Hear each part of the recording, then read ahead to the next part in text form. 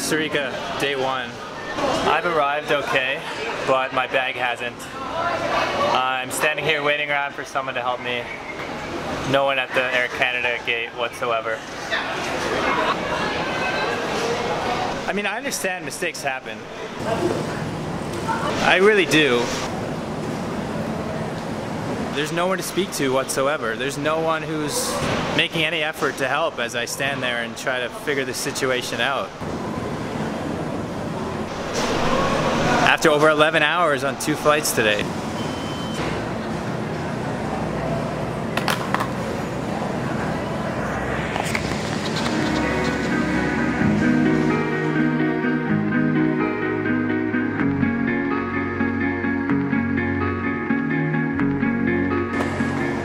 And look who just showed up. Okay, how can I help you? I was just making a little video about Air Canada. Sir, uh, I have a travel channel. Don't try I was- to I was film telling them all about it. because my image is private. If you want, I, I will be more than glad to assist you. No filming because my image is private. So this guy I spoke to, Mr. Mendez, he turned out to be a good guy. I respected his wishes not to be in the video, but I do want to share a bit of the audio from the conversation we had. I think you're going to want to hear this.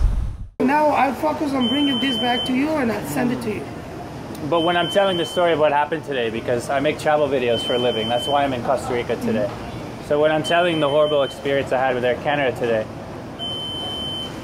is this a fault of Mr. Mendez or is this a fault of Air Canada being short-staffed today? Because it doesn't seem like you have a lot of flights. It seems like there was one flight and there were hundreds of us and there were two of us and we waited for one hour with these poor guys who could barely speak a word of English and I uh, couldn't properly explain what was happening, just kept saying, wait five minutes, wait five minutes. While my dad is on the other side, I have no way to communicate with my dad. And here I am, wondering, do I stay, do I go? I've been on two flights, 11 hours of transit today. you are right. You are You know? right. You are right. I mean, anything that you think and you say, you're right. I cannot tell you more than that. I mean, uh, we we need uh, to be audited sooner. And I hope uh, that people from Canada they come and give us an audit to us because I think we are the few personnel. We need to fix a lot of things. I work for this company. I love Air Canada, but I know there are things that we need to fix. And you were right with the things you said. I completely uh, agree with you. Sir. Uh, believe me, uh, there are things that I cannot fix with Air Canada.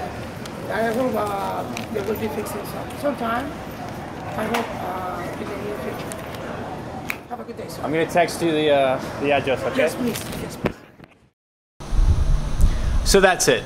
That's my video about Air Canada losing my backpack. I hope it's clear that I have no problem with Mr. Mendez. He seemed like a nice guy. He was just doing the best he could to solve the situation. As for you, Air Canada, I got a big problem with you guys. Because Air Canada, you don't represent the best part about Canada. You represent the worst part about corporations the fact that you know we're just a number on a spreadsheet to you. You don't give a damn how long someone's been traveling. You don't give a damn what problems they have to be solved. You just care about your bottom line. And I've seen that so many times from Air Canada. I saw it in the fact that I had two five hour flights and neither of them came with any food. Uh, you guys just it's all a numbers game. And that isn't very Canadian.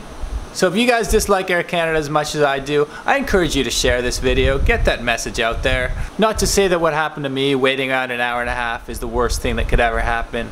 But I know that for every time it happens to me, it happens a million times to someone who doesn't have a YouTube channel, who doesn't have a platform to share this message. And that's why I'm sharing this with you today, because it's important for people to get this message heard. Because it, it's social media apparently is the only thing that companies give a damn about, right? So if you want to put some pressure on Air Canada and maybe get some help for someone like Mr. Mendez down in Costa Rica, uh, I encourage you to share this video and let's try to get something done. So that's the end of my little rant. Next time you see me in Costa Rica, I promise I will be out of the airport and with any luck, I will have my backpack. As always, I'm Dan from The New Travel.